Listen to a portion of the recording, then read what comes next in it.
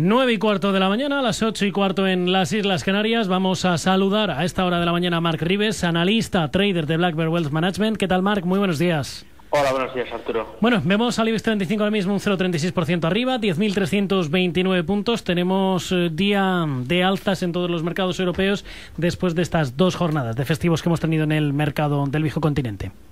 Sí, la verdad es que hoy habíamos visto una ligera corrección también en Asia y bueno, estábamos expectativa de, qué sucedería, el mercado abierto un poco a la baja, pero bueno, parece que se está animando y que poco a poco estamos volviendo a la parte positiva.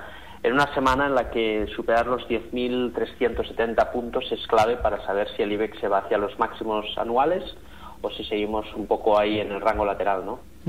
Será clave, será importante ver esos eh, niveles dentro del selectivo español. Si miramos al resto de índices europeos, ¿en cuáles nos recomendarías que nos fijásemos en el día de hoy?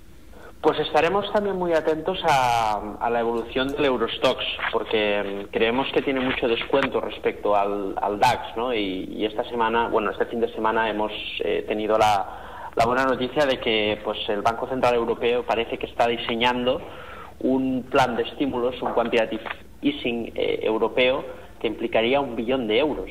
Es una locura, ¿no? Y eso, lógicamente, tendría que impulsar el crecimiento económico y, por supuesto, la renta variable. En este sentido, vemos mucho potencial en las bolsas europeas, sobre todo en la periferia. El DAX está como más agotado. Y bueno, seguiremos a la expectativa, como te decía, del, del Eurostox. Por encima de los 3.170 puntos estaría bien tomar posiciones porque creemos que nos puede dar, pues a pesar de la volatilidad, un buen, buen ejercicio bursátil. Si miramos dentro del selectivo, dentro del IBEX 35, eh, tenemos que mirar a varias compañías. La primera de ellas en el día de hoy, Avertis, la catalana que podría presentar una oferta de compra vinculante por Queensland Motorways, uno de los principales operadores de autopistas del mercado australiano. Sí, la verdad es que eh, estamos viendo un movimiento muy importante en todas las compañías del, IBEX 35 eh, para internacionalizar sus cuentas, ¿no? Y esto es un aspecto muy positivo porque si bien es cierto que aquí el mercado doméstico pues poco a poco se va recuperando de una manera muy lenta, las empresas han sabido ver eh, pues cuál era su, su punto para poder eh, pues salir de la crisis ¿no? y seguir incrementando beneficios. Eso les hará un know-how que les permite eh, pues vender al, al extranjero, hacer adquisiciones y de esta manera hemos visto como las compañías han saneado sus balances, eh, están creciendo en beneficios con un mercado doméstico que está empezando a recuperarse. ¿no? Por lo tanto, es muy positivo esta, esta dinámica porque cuando se recupera la economía al 100% en España, pues nos tendremos empresas muy internacionalizadas con un mercado doméstico que funcionará bien y el potencial de mejora es muy importante ¿no? en este sentido. Entonces vamos a seguirlo muy, muy atentos, pero no cabe duda que la operación de Avertis es, es buena y, bueno, y así lo premia el mercado ¿no? con esta subida ya de un 1,11%. A esta hora de la mañana exactamente un 11%, en los 16,01 euros la acción. Tenemos que mirar también a otras empresas que están subiendo con fuerza. Es el caso de SACIR, a esta hora un 3,41%, 4,63%, después de que esta madrugada Ricardo Martinelli, el presidente de Panamá, haya dicho que la ampliación del canal va a estar en plena operatividad en 2016.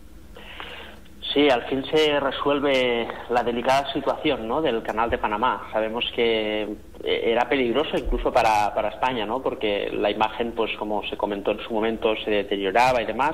Pero bueno, afortunadamente los problemas son problemas porque tienen soluciones y, y bueno, una vez más, pues eh, se ha resuelto positivamente. SACIR es una compañía que tiene otros problemas, yo creo, como son la deuda, eh, su reestructuración, su pago, su calendario de vencimientos y demás, pero no cabe duda que estas obras tan importantes pues son muy muy muy interesantes ¿no? para la cuenta de resultados y luego para negociar con las entidades financieras.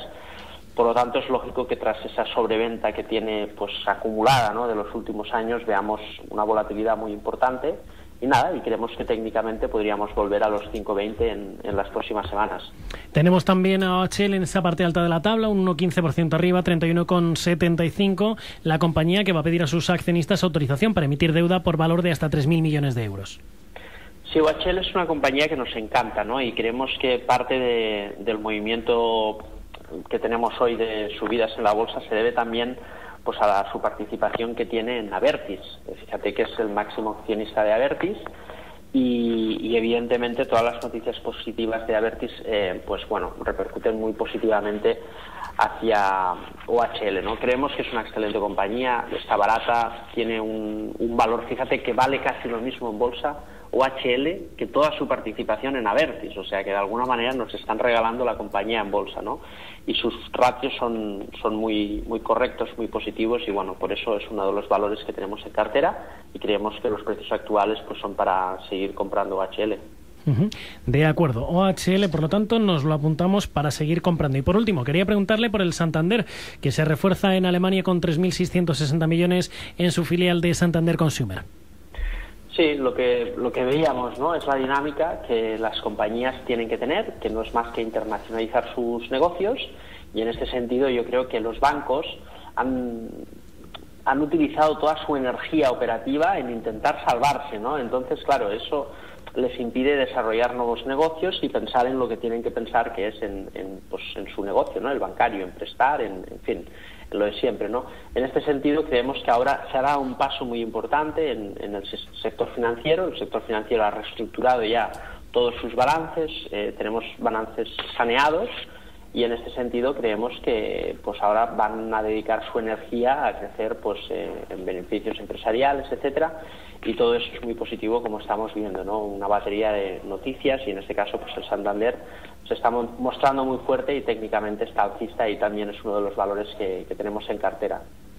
Y quería preguntarle también por esa operación de la que estamos pendientes en las últimas horas, esos contactos que ha mantenido Pfizer con su rival británica AstraZeneca para presentar una oferta de compra que ascendería a 100.000 millones de dólares. ¿Cómo vemos esa operación y qué podría suponer?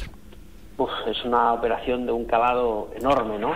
Eh, estamos hablando ya de, del exceso de liquidez que nos encontramos en la bolsa americana y, una de las consecuencias es esa, que, estamos viendo operaciones pues eh, enormes, ¿no? También ahora recuerdo la que se comentó en su momento que AT&T podía comprar Telefónica, o sea, es algo de un volumen pues muy elevado. Estamos hablando de dos gigantes farmacéuticos, eh, han ganado muchísimo dinero con todo el tema de la reforma sanitaria, en bolsa cotizan muy caras Creemos que los precios pagados eh, serían muy exagerados, pero, pero bueno, está claro que la integración de estos dos gigantes pues traería muchas sinergias y sería una operación positiva. Pero de cara al pequeño inversor creo que hay que estar fuera porque los precios que cotizan las farmacéuticas son muy, muy, muy exagerados y creemos que hay una gran burbuja ahí, ¿no?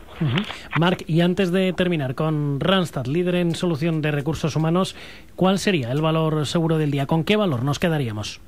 Bueno, vamos a pensar en un valor que es, puede ser muy volátil, pero a pesar de ello creemos que puede ser una gran opción como es la inmobiliaria colonial. Está de hecho en, proceso de una ampliación de capital y creemos que podemos entrar vía derechos. Entonces eh, creo que es una opción interesante y ahí iremos a buscar la depreciación de su cartera de inmuebles y luego la reestructuración que permitirá pues amortizar la deuda y dejar un, bueno un, un, valor inmobiliario que creemos que tiene un potencial de, de un 100%, o sea que creemos que es una buena operación. Pues Marc, como siempre, un placer tenerle aquí en primera hora. Gracias por acompañarnos. Feliz, eh, feliz jornada. Un saludo, hasta luego.